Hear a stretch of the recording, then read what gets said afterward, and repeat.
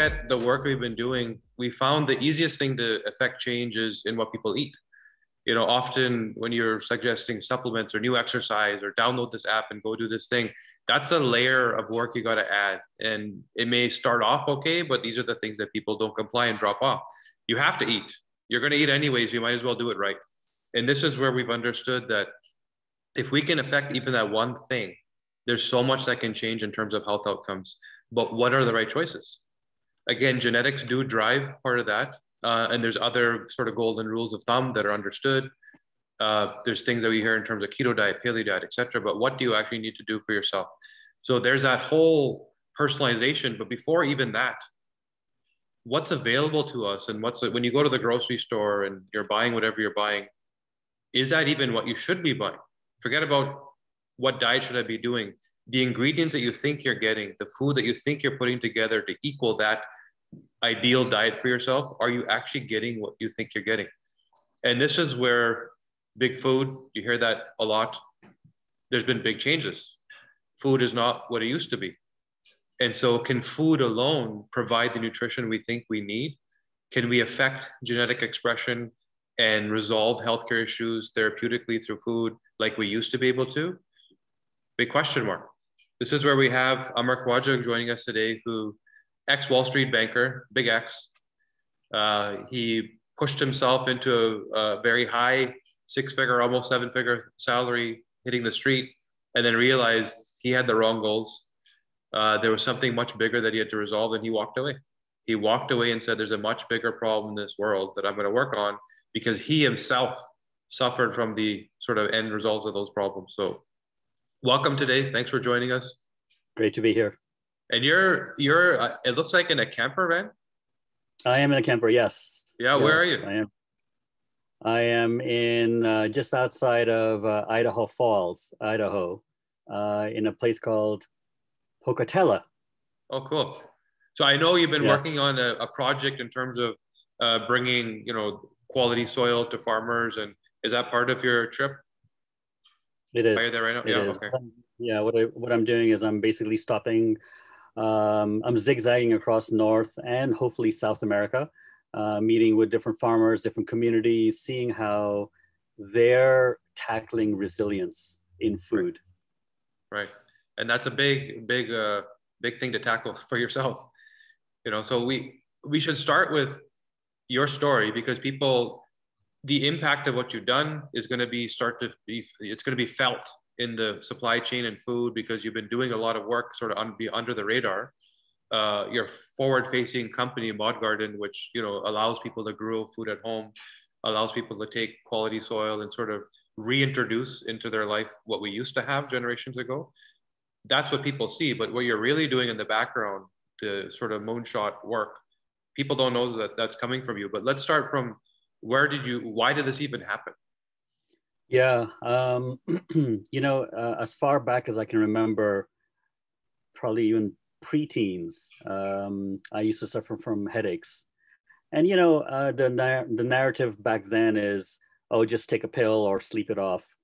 Um, but then, as uh, the years wore on, the headaches continued to get worse, and they got so bad that by the time I was in university and working, um, I used to have to go to the emergency room to uh, get treated for migraine pain.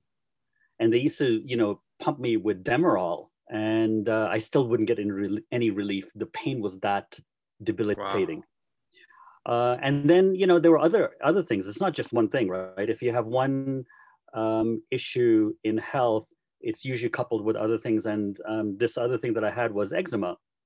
Again, it started off with uh, dry skin uh, in my pre-teens, in my adolescent years, and uh, by the time I was working, uh, you know, I used to pick- pick up my briefcase and my palms would tear.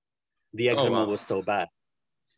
So it was really, really scaly and all that. So that that really precipitated um, a need to understand, well, what's going on with me?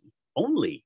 Why am I the only? Well, mm-hmm. you know, in a matter of speaking, why are my colleagues, my family, not necessarily suffering as much as as much as I seem to be suffering?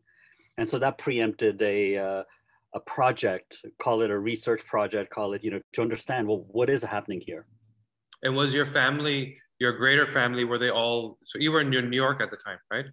I was in England and New York, yeah. Or in England, so split between the two, and that's where everybody else was. Also, was anyone up north and with us here in Toronto, or?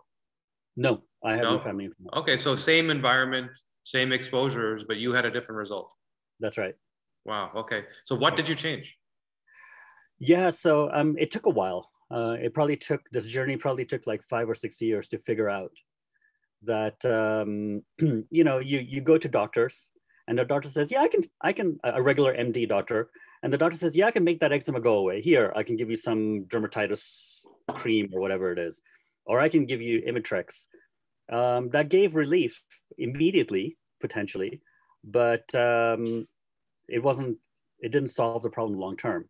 Right. It wasn't until I I actually did come to Toronto uh, that's when I started really looking into and I met a few people who were naturopathic doctors who actually looked at the root cause of you know what's actually going on with you.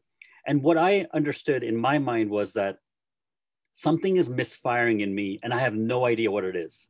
Mm-hmm. What is it that's misfiring inside of me that that you know, that, that needs to be fixed? So I understood, you know, um, from a from a instinct instinctive point of view, what was happening with me, but I didn't know what the answers were. And so what I did was I I started looking into supplements, and I started taking supplements. And somebody said you need to take 800 milligrams of magnesium per day as an adult male. And I'm like, okay. So I started taking those, and then eventually the headaches did actually go away. And I'm like, what the heck is magnesium and all these minerals that I'm taking? And where does it come from? And that began that journey of ultimately peeling away that onion layer of, okay, what is magnesium? Where does it, you know, where is this supplement coming from? It's made in some manufacturing plant. But what is magnesium ultimately? It comes in some sort of, some form of food or some form of mineral. Well, what is a mineral? And then, you know, as you go, ultimately you end up at food. So, and that's yeah. when, yeah and and and that's when that's when you're like thinking what it's in food? Well why am i not getting it why am i reacting differently? Because i seem to be eating really good food. I seem to be eating you know salads and all of that stuff. What is it that's happening with me that's that's that's so it's uh, what you thought was good as where i mean even walking into certain health sections of the grocery store right. you you you may think that what it is is good but i think you took that and dove a little deeper, like you said, that onion, you only got to layer two or three when you're in a certain, you know, a whole food section looking for whatever. But there's things beyond that that still needed work. And that's where your your story is phenomenal because I mean you went so far as to, you know, go to Dalhousie University and start working with them in terms of how is food even mean to how what what nutrition does the plant actually need, right? What what do we actually where do we start in terms of forget about what I'm buying at the grocery store. Let's take a few layers back. Right. And my nutrition is one thing, but my nutrition comes from this living thing. What nutrition does it need? And that's what led you to that journey, which blew my mind when I heard about it. So tell us about the work you did with Dalhousie. Yeah, so um, it comes down to so all, after pull, peeling away as many layers of the onion as possible in this research, what it came down to was soil. Right. Where is your food growing? So you know the answer is it's it's food okay, well, what is food? You have to define food. Food isn't something that just comes into your stomach and then you, it just goes away. Food is actually extracted in your in your body into the blood or circulatory superhighway, and then it gets absorbed into each one of our cells. And what is food? Uh, ultimately, it's minerals that get absorbed into each one of our cells. And I'm like, so I asked the question, well, what is absorption? um, and that's really what the crux of food is is uh, food food is something that um, it's it's a means to get minerals into your cells mm-hmm. it's, it's it's it's a great tasting means of getting minerals into your cells now the type of mineral a magnesium in a pill form and a magnesium in broccoli form are going to react in two very different ways and it is going to react based on the soil that it's growing in. Mhm. And so what led me to Dalhousie University was uh, Dalhousie University of Agriculture um, was my need to understand soil. And uh, what is the difference between a soil uh, that is treated with some sort of a mineralization like a fertilizer, organic or not, or some sort of an input that is man-made, that is input into the soil that grows food. And so I wanted to understand that. And, and to me, again, my instinct told me that we don't really, for, you know, pre 1890s, we didn't really intervene by inputting stuff into soil at all. Mhm. Food kind of just grew in soil that was already rich. And it wasn't until like, you know, around the 1890s, that's when the research began with a person by the name of Albert Howard, uh, where we started, you know, they started experimenting with inputs like nitrogen fixation. Basically, what, what I mean by that is that they, they figured out that if you add nitrogen, extra nitrogen, which is normally breaking down, broken down by the plant through atmospheric, for, through, the, through the atmosphere, but if you add something extra, like a heroin shot of nitrogen into the soil, plants grow faster. Mhm. And I think at that time, during, that was the industrialization era. And so farmers were kind of being left behind. If you think of, if you think about that time, uh, while all the other, you know, manufacturing and production um, was taking off. And I think uh, this began to experiment with soil and uh, trying to up the, the production of food so that they could make more money.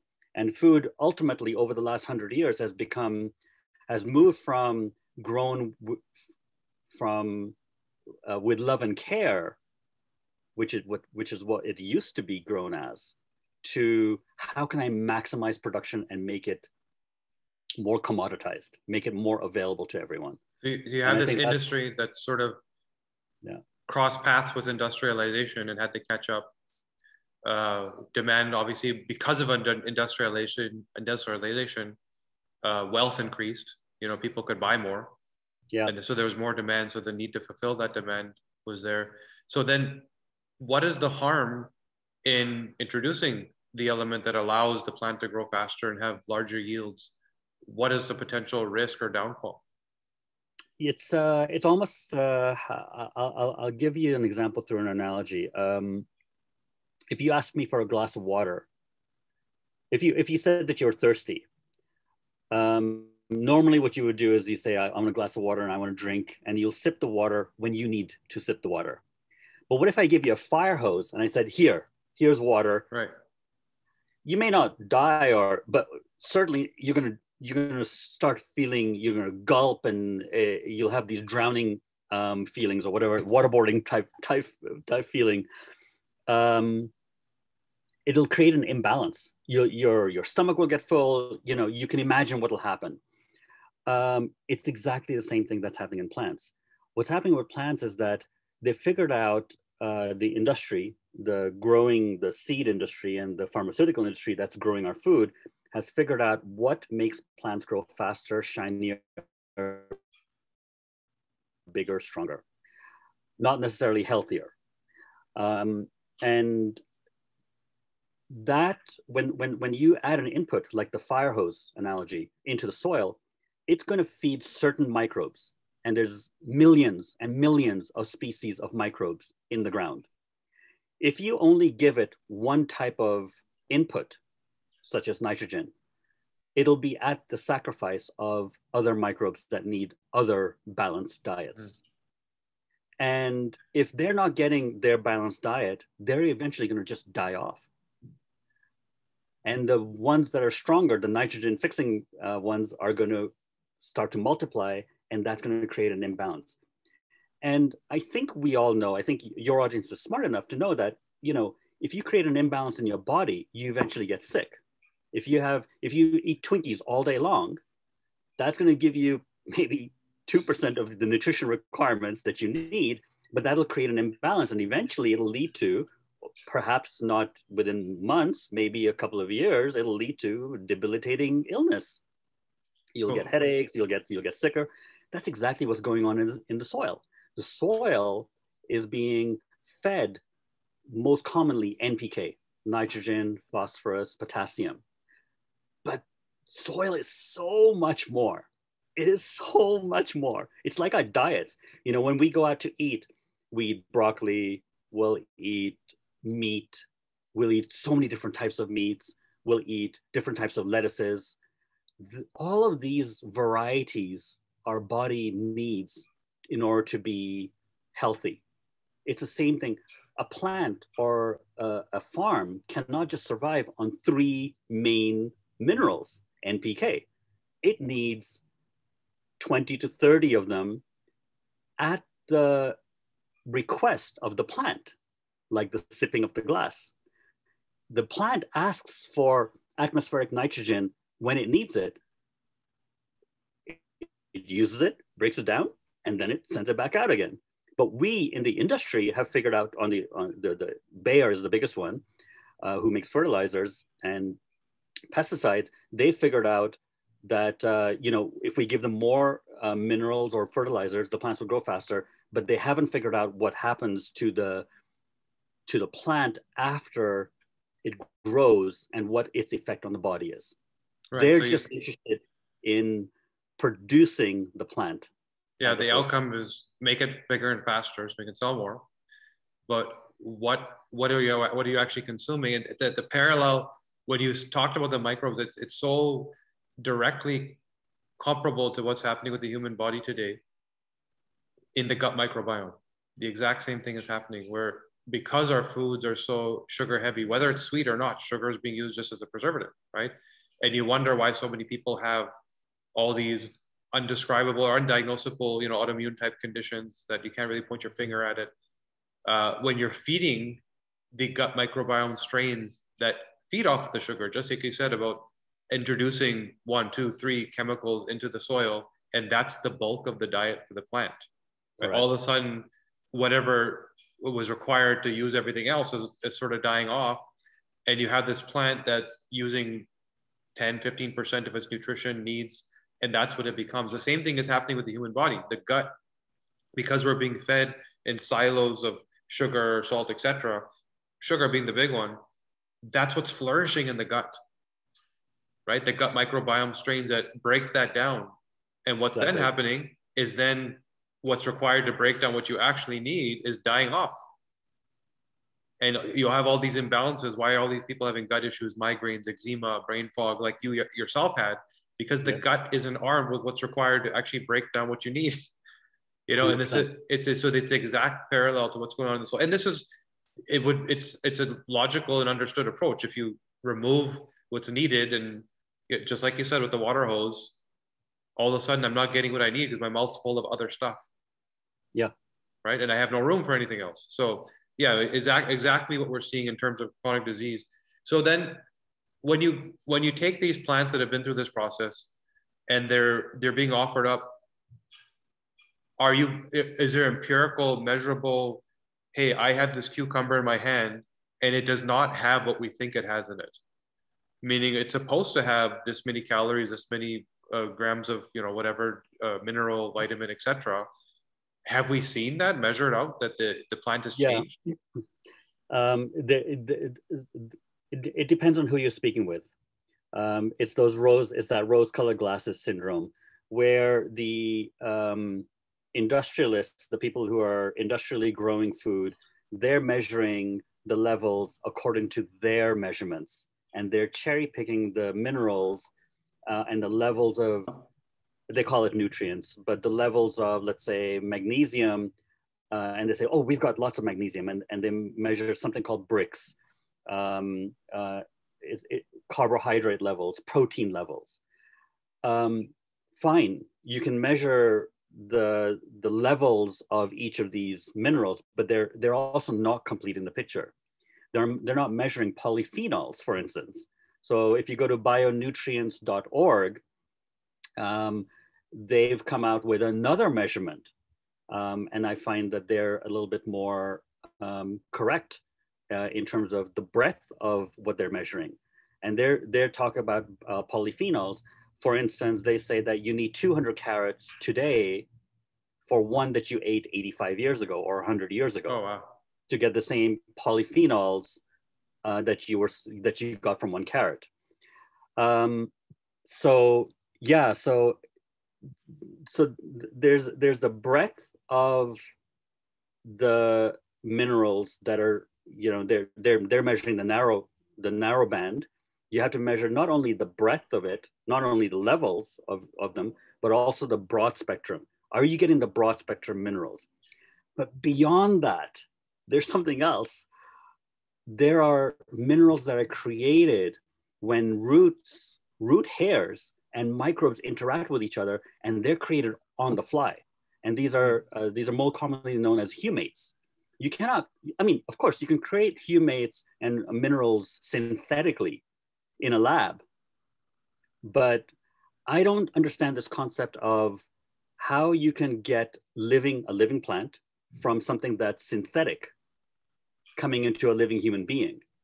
It has to come from living to living to living Right. in, order for, in order for us to be able to assimilate it within our body. And that is the crux of it. The crux of it is that it's coming from synthetics that is growing the plant. It may look like a plant, but you know, a brain dead patient may look alive, but is the brain dead patient really thriving and healthy? And the answer is obvious. The plant may look like a plant industrially grown, but is that plant healthy and thriving and living and, and good for us at the same time? So we have to we we really have to be very precise about our definitions about you know what's living. A plant by definition, when you look at a plant, it looks like it's it seems like it's living. But a brain dead patient also by definition is living. So, but is it is it um, is it vital? Does it have vitality? And uh, again, that needs a definition too. And these are these are kind of new definitions that need a little bit more um, color and uh, a little bit more emphasis. So going back to this, what's the difference? When um, the there there there are and humates is just one example. The interaction of root hairs with microbes, certain microbes in the soil, create byproduct minerals that enable absorption of minerals by the plant into the plant. Mm. Those same minerals, those humates, come into the plant. When we eat that plant, they go to work on our own bodies. And that is the key to assimilating the minerals into us at our cellular level.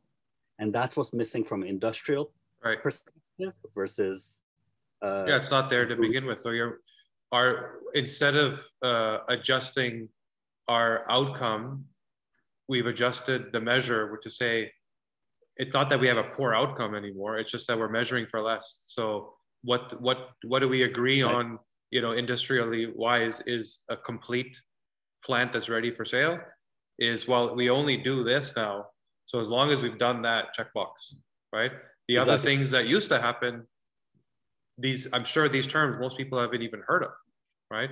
How many times you pick up a, a, a box and say, "Let me look at the humate level." The measure's not even there because there's nothing to measure. That's right, exactly. right? So just yeah, eliminate it as a, as an outcome and just stick to what you offer. But then all of a sudden you're offering an incomplete product. It's no longer a whole food, you know. And as you take for as an example, I was just speaking to someone about, uh, you know, why is it that Asians complain that when they talk to us, that we tell them you can't eat rice? They said no, my ancestors ate rice for generations, and we tell them genetically that no, they can't. And but we're not talking about their ability to break down or eat what their ancestors ate.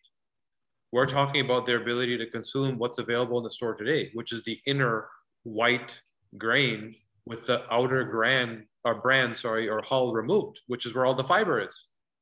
Which you know, the miracle of food, we are we're being offered complete packaging, meaning that if you eat it with the bran, you then have the fiber to counteract the insulin spike, you know, the the glycemic index that's so off the charts, just like a spoonful of sugar by eating a spoonful of rice, right? Uh, same thing with a, a parent we were talking to the other day that thought it was a good idea to be offering their child orange juice, right? So you would think you read the labels again, the, the checks that you're talking about, vitamin C, check, et cetera, et cetera, check, right? What's not being checked is when you drink the juice, you're getting, yes, the, some vitamin C, and you're getting 30 grams of sugar per, per cup. If you eat the fruit, you're also getting the fiber, again, that counteracts the sugar. Right. So it is a healthy food. You might as well be drinking a can of Coke in terms of the insulin spike and what it, what it does to you, right? So, yeah, and so things are already complete. They were, like you said, 1890 prior to. Uh, so then, what have you done in terms of your work with Dalhousie, with the soil, to say here now you've identified here's what's going on. Here's here's what caused my eczema, my scaly hands, right? What yeah. was it that you then did with the soil to bring it back to hey, guess what? I'm healthy now. Uh, we've established in, in this talk that we need these byproduct minerals. We need a full spectrum of minerals um, um, in the soil and being created in the soil while the plant is interacting with the soil. So the plant is living in the soil structure. The plant rhizosphere is living in the soil structure and is interacting like a like a like a like a city, in, if you will. All these microbes have different jobs to do. Um, we, you know, when if you leave soil alone, if you go to, you know, people talk about the blue zones. The reason why people talk about the blue zones is because their soil is largely untouched Mm-hmm. They go and they don't do any meaningful inputs. I don't think that uh, do any put any meaningful inputs into the soil, and the soil is grow the, the food is growing grown naturally. What we're trying to set up is, um, you know, people who own farms, organic farms, you know, please keep doing what you're doing. Um, it's it's it's organic farms, biodynamic farms is a level better than that. No-till farming is usually part of that um, it's a very complex, it's a very complex subject, um, but the simplest answer I can give you is we're trying to mimic the soil of an untouched farm, by, a, a, truly organic farm. And, and even, you know, when I say the word organic, I almost hiccup or I, I almost, because the definition of organic is now owned by the FDA.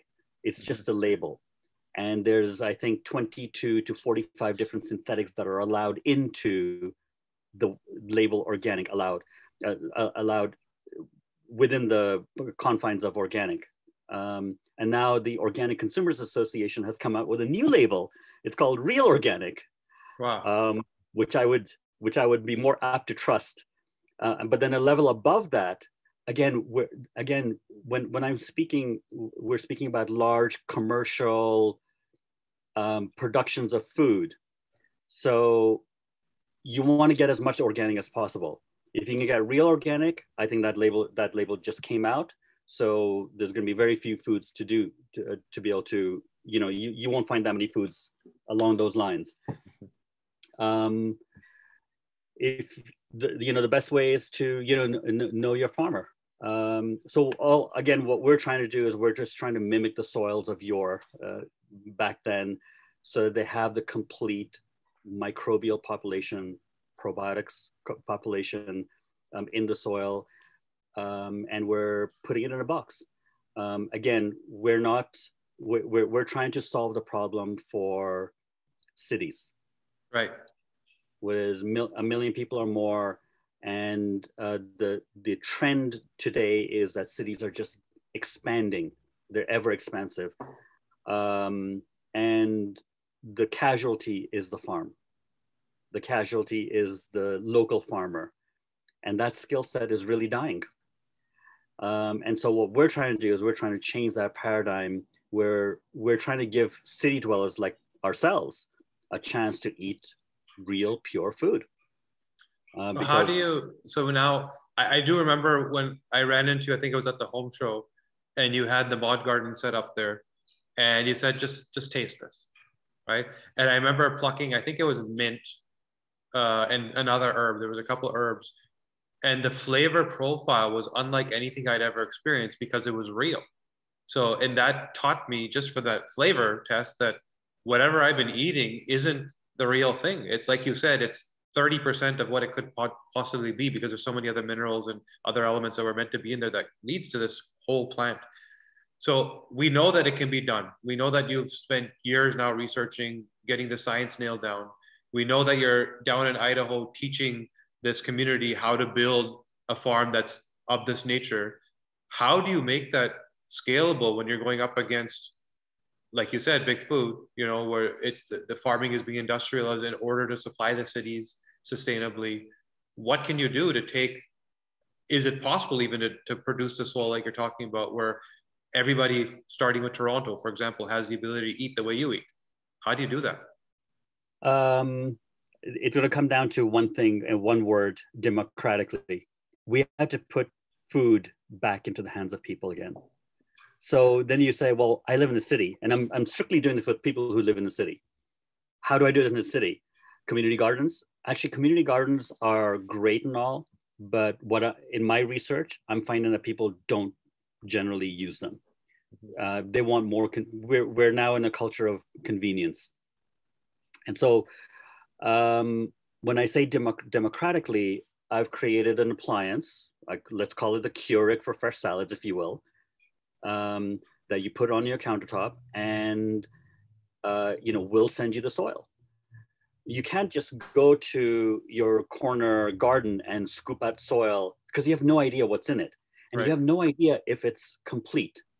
Does it have all the microbial population? What i'm trying to do is i'm trying to bring health back. I'm trying to give people a fighting chance to be healthy at the lowest cost possible. We have a god given right to be able to eat everybody does whether you, no matter where you sit on the economic line uh, to eat healthy food affordably. Um, and so the, the only way that I know um, in my best uh, estimate research, you know, the, what I've come up with is to put it back into the hands of people, make them tiny farmers, if you will. It's, right. it's, a, it's something that we've, um, and let, let, let us own food again. We're not going to be able to fi- fight the big four agrochemicals. There's many there's many but the the largest four own 60% of seed global seed sales. We're just not going to be able to economically fight that. Uh, you know one community at, um, at a time we'll be able to fight it democratically if we own our own food production. Mm-hmm. and that's what i think we need to do. Mm-hmm. um, embrace the fact that you know cities are getting larger. Millions and millions of people are migrating into cities. We can we're just that, that's a trend that we're just not going to be able to change. What we want what we can change is what we have in our hands. Even going down to the the organic grocery store the organic farm farmers market and talking to the farmer the local farmer local organic farmer they all claim that oh we have to add a little bit of fertilizer. We have to add a little bit of input and there you have it that's the break and mm-hmm. so if you if you don't want that break you have to go to the source get organic heirloom seeds, get the best soil, grow it yourself, and begin there. Yes, it's only a small percentage of your dinner plate, maybe 10, 12, but it's a start. Let's mm-hmm. start there. Let's let's get the basic nutrition into our bodies, and then we can build from there. And I know in terms of getting into cities, uh, you've been doing some work with some major real estate developers to say that the, in their plans, this should be so you have to normalize it, right? People have to understand that this is possible. Being a farmer, a tiny farmer, doesn't have to be overwhelming. It can be very easy uh, if they understood how easy you've made it for them. And even more going down that path, you're literally working with developers to make it part of whether it's design, architecture, part of the, you know, the surroundings where it's, it's in your home. Yeah.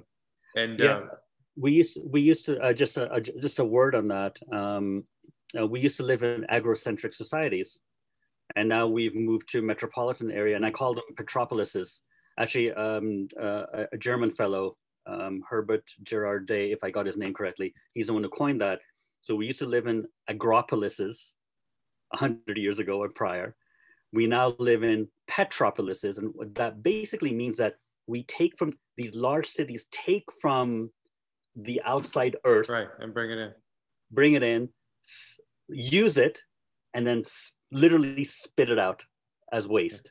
Right. And the future paradigm has to be an ecopolis where we bring in minimum earth inputs, use them up, and, and, and return a net positive back to the environment.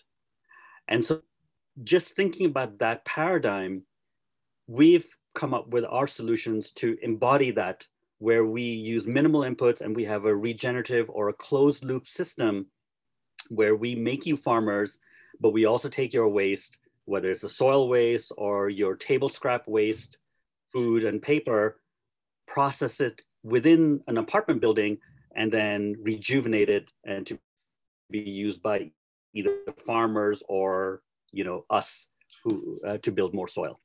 Right.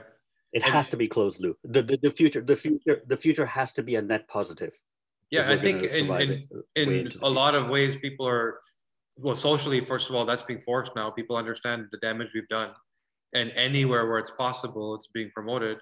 Uh, it just hasn't been seen as possible here. Food waste is just it's a it's a known thing, especially in North America. It's it's given. You it's, it's what happens, but it doesn't have to have to. Um, you know, going back to what you said earlier about living food and the importance of that, I don't. I, for the most part, when we talk to people as patients, they don't even realize that's a consideration. You know, they don't even realize that it's but it's possible, like you said, the brain dead plant. It's literally you're, you're eating a corpse, and there's something missing. And what is that thing missing? And I recall once listening to you speak, and you were talking about biophotons and how even just that one thing, you know, the signaling system and, and how how much you should be taking in in terms of the light, the energy, the biophoton activity. And if you're eating a dead plant, it's not just again what we're measuring in terms of protein, carbs, vitamin A, B, C, D. There's other mm-hmm. things we're meant to be getting from food that we don't even know about, we don't talk about because they don't exist anymore. Yeah. So, in, can you uh, tell the audience about the work you or the research you've done in biophotons? I found it mind blowing. I'm going to try and simplify this as much as possible and not get too sciencey here.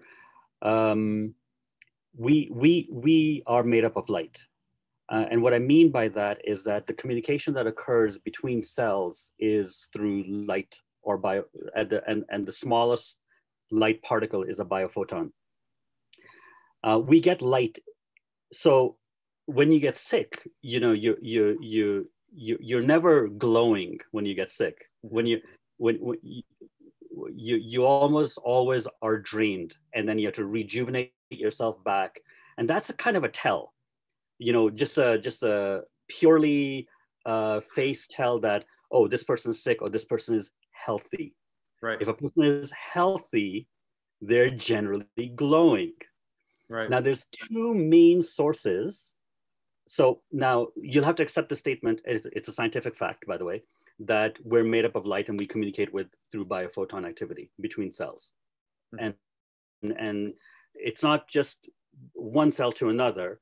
There's actually a shield around you where the cells are coming out of you and uh, each cell knows everything about the other cell. Each cell in your body knows all the information about every single cell, other cell in your body. So, it's like instantaneously, like you get hit here, instantaneously. the whole body knows. Instantaneously. Right. So if a cell, if if a cell is malfunctioning down in your leg, for instance, it might have cancer. Your other cells will know and they'll react accordingly. So if given the chance, they'll they're it's a healing process. But that's beyond the scope of this discussion. Now, um, when you get sick, you need to replenish yourself. Generally speaking, when you when you get sick, you know, if you eat good food, you get to replenish. So one source of biophotons is food. Right. The other obvious source of biophotons is the sun. When we go out, we come back with a glow. Mm-hmm. And it's not a tan glow, it's actually your body receiving these biophotons and then you know we call it vitamin d we call it you know a tan thing but it's that is those are our two main sources uh, and i think biophotons may also exist in water in good water. Now if the food is now th- th- there's a lot of there's a lot of sickness going around um, and there's a lot of chatter about vitamin d today. Mm-hmm. and and and the need to get vitamin d because we're not getting sun we're not getting the sun, especially in the Northeast. So now we're staying, we're staying indoors in the Northeast. The only other source of biophotons is food. A food that is genetically or synthetically treated does not have biophotons in it.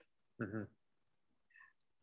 the, the food that will have biophotons in it is food that is uh, produced through living organic matter, through living organisms such as you know insect earthworms, the millions of microbes that are out there. They're harnessing that energy, that biophotonic energy. It's coming into the plant, and it's showing up in taste. It's showing up in your body when it craves for it, being satiated when it receives even a little bit of a sunflower, one, one or two sunflower, you know, a, a, a, a sprig of sunflowers, for instance, sunflower sprouts, because your body is satiated with with that. So it's with the minerals and the and and the completeness of the nutrition. So that's basically what um, the, a, plant that is treated with pesticides, a plant that is is sick. If I if I spray if I spray Raid on your face, you're gonna get sick because of all the chemicals there are untold chemicals in Roundup, the chemical the, the, the, chemical that's used uh, that's a main pesticide ingredient that's used uh, by Monsanto, and plants are getting sick. Mm-hmm. And so, if 99% of our soils, which is the case in America, 99.3% of our soils are treated with this pesticide. About in excess of 97% is uh, of Canadian soil, Canadian plants are treated with this pesticide. And then we don't uh, we don't want to I don't even want to trust the statistics statistics that are coming out of India and China, where another majority of our food is coming from. You know, our, so our food is basically being treated with this pesticide, which is killing the plants or making them extremely sick, and that biophotonic activity is low, and that's making us sick in turn. That's another cog in the wheel of why we're getting sick it goes back to, you know, if we round sort of summarize it down to people don't even know why they eat, right? The, the thinking behind food is fat, carbs, protein, some vitamins, minerals. There's so much more to food that we've lost uh, because of how we don't grow it. So we, the problem was there. There's more demand, more people, we need more food. That's true. Exactly. The solution may be not the best path because we didn't actually understand when we say we need more food, what does food even mean? Does it mean just feeling full? Right? How much did we give up in the in the decisions we made in terms of how do we ramp up and scale up food production? One simple thing, biophoton activity. You no longer the life that you're meant to be getting from this plant that's signaling that your cells require in order to communicate and be the best yourself. Why all of a sudden do we feel dull up here? Why all of a sudden does everything hurt? Why all of a sudden are there joint pains? You know the, the system like you said it's an overall system failure. There's no single thing you can point your finger at. And that by the time you're 50 55 turns into a chronic disease you know and then we know where that goes from there. So yeah and it's another thing to just keep asking. And it, it shows you you need to explore. Like what you think you have in front of you may not be the complete answer regardless of what you're looking at. Right? A simple thing in terms of okay here's food here's what the label says and here's the sort of structure, the bubble within, I think, of food. And there's so much more that I didn't even know I needed to ask. I didn't know that those those measurements existed, right?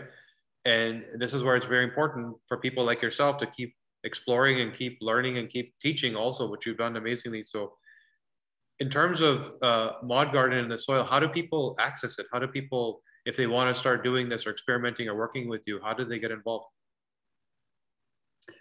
Um, well, you know, as you know, we're we're in we're a startup uh, company. Um, so on one hand, I'm trying to launch a solution where we give people a convenient way to be able to grow their own food. Um, I'm on a journey right now where uh, I think it boils down to resilience. If if I were to boil it down to one word, I would say resilience.